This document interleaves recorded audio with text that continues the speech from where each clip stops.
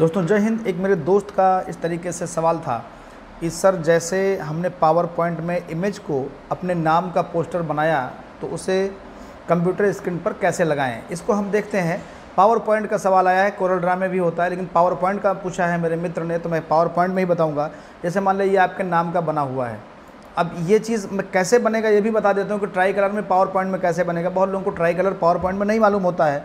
वो डो जो है शेडो का बनाते हैं तो ये ट्राई कलर बनेगा कैसे? इसको मैं यहाँ कॉर्नर पर लगा दे रहा हूँ। और ये मैं यहाँ लिख देता हूँ इंडिया ये देखिए इंडिया लिख गया। इंडिया लिखने के बाद अब करना क्या है? इसको कैसे ट्राई कलर में बांटेंगे? देखते जाइए, बहुत ही ईजी है। सिंपल शेप लेंगे आप यहाँ से और लाइन ले लेंगे। और लाइन यहाँ पे आप खींच देंगे, ऐसे ही जितना आपको लेना है। मान लिया मैंने, यहाँ तक ले लिया ये, यहाँ तक ले लिया। और इसके बाद दूसरा वाला ऑप्श लाइन इसको ले लिया मैंने यहाँ तक। ये बीच का पार्ट इतना कट कर देना है। बीच का पार्ट जो कट करना है, ये देखिए कैसे कट होगा। बहुत इजी कट हो जाएगा। अब क्या करना है इसके बाद? ये मैंने इसलिए ड्रॉ कर लिया है कि आपको पार्ट क्लियर हो जाए कि कितना आपको कलर चेंज करना है। यहाँ के बाद हम आएँगे। इंसर्ट में आके हम लेंगे रेक्टेंगल और यहाँ से ऐसे ड्रा कर देंगे जितना हमारा ये एरो लगा, वो, क्या कहते हैं लाइन लगा हुआ है। और दूसरा वाला भी हम एक और ले लेंगे ऐसे सेप रेक्टेंगल और इसको भी हम ऐसे खींच देंगे। पूरा कवर कर देंगे, जितना अच्छा रहिए पूरा।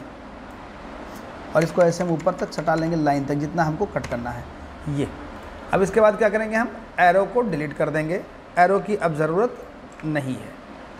अब क्या करेंगे? इसको सेलेक्ट कर लेंगे पूरा। इतना। ये सेलेक्ट हो गया। सेलेक्ट होने के बाद हम शेप फॉर्मेट शेप पे आएँगे। ऊपर जब आप शेप पे क्लिक करोगे तो ये ऑप्शन अपने आप आ जाएगा। देखिए, अभी नहीं है, लेकिन जैसे मैं इसको लेता हूँ, जैसे मैं इसको लेता हूँ, इस तरीके से देखिए, इसे सेलेक्ट करके, ये ऑटोमेटिक खुल जा रहा है शेप फॉर्मेट।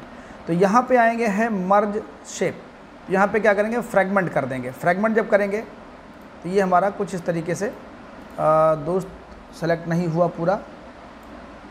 अब देखते हैं, सेलेक्ट नहीं होगा तो नहीं हो पाएगा।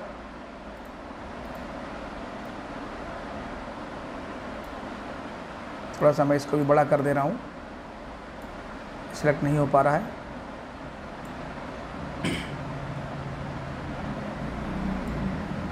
अब ये सेलेक्ट हो गया। अब इसके बाद हम यहाँ से करेंगे सेप पे जा करके यहाँ पे जाके हम करेंगे फ्रैगमेंट कर देंगे। फ्रैगमेंट करेंगे तो कुछ इस तरीके से हो जाएगा ये। अब इसके बाद हमको ये वाला चीज़ हटा देना है ऊपर से। ये जो शेप मैंने लिया था। अब इसके अंदर का भी हम ये डिलीट कर देंगे जो ज़रूरत नहीं है। ये देखिए।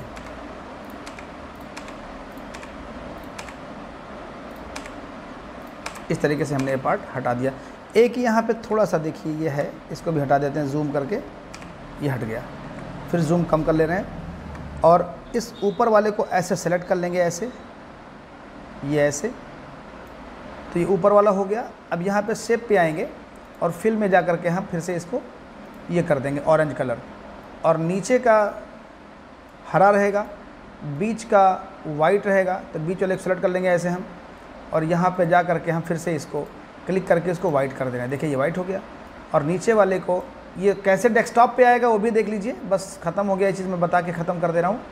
और यहाँ से फिल पे आके हम इसको कर देंगे ग्रीन ये ग्रीन ये देखिए बन गया। सेम जैसे ये था वैसे बन गया। तो इस तरीके से आप पावर पॉइंट में इसको बना सकते हैं। अब ये आपका जब बन गया है, अब इसको हम कर लेंगे सेव सेव करेंगे तो सेव के लिए क्या होगा? आप यहाँ पर जाएँगे फ़ाइल में। सेव एज पे करेंगे या सेव पे करेंगे, और यहाँ पे हम कर देंगे पीएनजी ये पीएनजी कर देंगे, और यहाँ पे नाम चेंज कर लेंगे, यहाँ पे मैंने कर दिया इंडिया इंडिया कर दिया, और इसको मैं डेस्कटॉप पे ही सेव कर दे रहा हूँ ऊपर यह कहीं पे, या कहीं भी कर सकते हैं आप, मैं डेस्कटॉप पे कर दे रहा हूँ, आप जहाँ चाहें वहाँ कर सकते हैं, कोई दिक्कत नहीं। है आल स्लाइड्स या जस्ट दिस स्लाइड कई स्लाइडें हैं तो आपने जिस स्लाइड पर बनाया है केवल इसी को कर लीजिए जस्ट दिस स्लाइड कर लीजिए, पूरे स्लाइड की ज़रूरत नहीं करने के लिए। अब देखिए ये ऊपर आ गया ये। ये आ गया ऊपर, यहाँ पर। तो आप इसी पे राइट क्लिक कीजिए, जो आपका ये है, इसी पे आपको राइट क्लिक करना है। चाहे आप ओपन करके राइट क्लिक करिए, चाहे ऐसे इसी पे कर, यहाँ पे करिए ओपन करके, या आप इसी पे राइट क्लिक करिए, कोई दिक्कत नहीं। यह ऑप्शन आपको देखना है सेट एज डेस्कटॉप बैकग्राउंड बस इस पर आपको क्लिक करिएगा, ये देखिए, ये बूम लग गया एकदम से। तो इस तरीके से अब ये जो आपका इधर आ रहा है, ये जो आपका इंडिया बीच में लिख के आ गया, ये मैं यहाँ से हटा के दिखा दे रहा हूँ आपको। ये देखिए, लिखा हुआ है। तो इस तरीके से किसी भी को बना करके आप जो पीएनजी में सेव करके आप उसको सेट कर सकते हैं तो बैकग्राउंड में वो चीज़ सेट हो जाएगा। दोस्तों, अगर अच्छा लगा वीडियो तो लाइक कीजिएगा शेयर कीजिएगा और सब्सक्राइब भी कीजिएगा। मिलते हैं आपको अगले वीडियो में, तब तक के लिए गुड बाय